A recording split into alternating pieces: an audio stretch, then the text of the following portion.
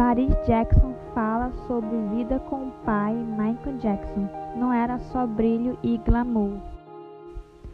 Paris Jackson falou sobre como foi crescer com o rei do pop Michael Jackson como pai, falando com Naomi Campbell na série de entrevistas da supermodelo no YouTube no Filter na terça-feira. Paris admitiu que seu pai garantiu que seus filhos fossem cultos.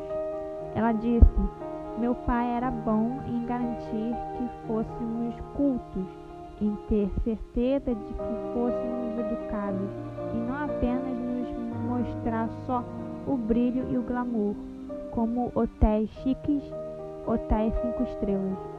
Também era tipo, vimos tudo, vimos países do terceiro mundo, vimos todas as partes do espectro.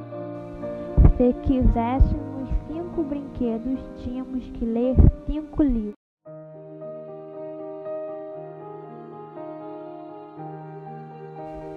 É trabalhar para isso trabalhar duro para isso. É algo totalmente diferente. É uma conquista, completou. Paris revelou também que conhece todas as letras das canções de seu pai e o gosto musical dele ajudou a influenciar seu som. Ele amava música clássica e jazz e hip e R&B e obviamente as músicas da Motown mas também gostava do top 40 do rádio e adorava rock, rock suave, os Beatles.